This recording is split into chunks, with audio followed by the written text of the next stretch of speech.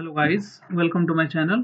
In this video i will guide you how to adjust your screen brightness on your windows 10 computer or you can choose in the other windows as well.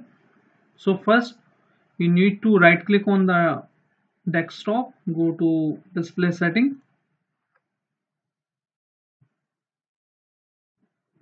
And once you go to this display setting you should see this option brightness and color. So you can drag it from here. Okay. It should not be blur. And if it is blur I will show you the other ways to fix this problem as well. So you can minimize or maximize this color brightness. Okay. Display brightness on your windows. So this is the first method. In the other method check the display resolution as well from here. Make sure you are choosing the recommended one. Okay. If you are choosing recommended one it should work properly if still not you can go to the battery icon here. Click on here. And then you can see this option battery saver. Click on this option. And now it is on the battery saver. So make sure it is off like this and it will work fine. If this option is still not working we can go to the device manager and update our driver okay? Since the brightness is also responsible for the driver so go to display driver and right click on it update driver. Search automatically. Make sure you are connected with the network. Okay if you are getting this message already installed let's close this and go to control panel. Open control panel.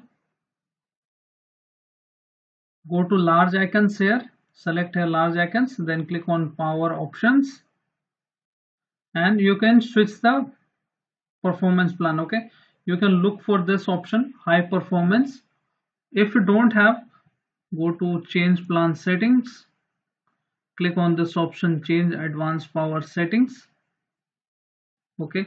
Once you click on that you need to look for this scroll down and look for processor power management plus this icon minimum processor state plus this as well and on the battery choose this to 25 or 30 percent 30 percent plug in 30 percent also click on apply okay and maximum processor state make sure on the battery it is 100% and plug in it is 100% we can also look for this option. This option is also battery.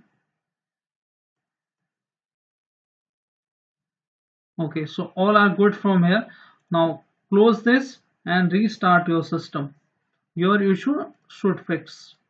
If your issue is still not fixed that there could be the issue with the windows as well. So you can reset or reinstall the fresh window and check if your issue is solved or not.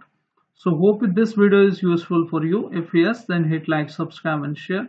Thank you. Thanks for watching how to fix tech